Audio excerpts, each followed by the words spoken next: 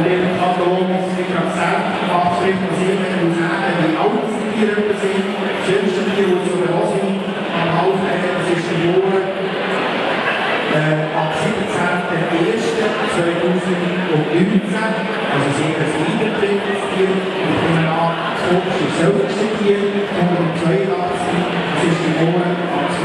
März 2018. Lange sind die dazwischen Und da kann man dazu sagen,